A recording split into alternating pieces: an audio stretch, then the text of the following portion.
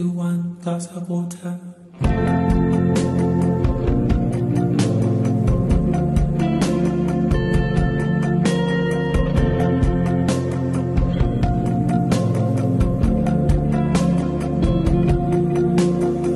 Sad the truth, my world had been spoiled.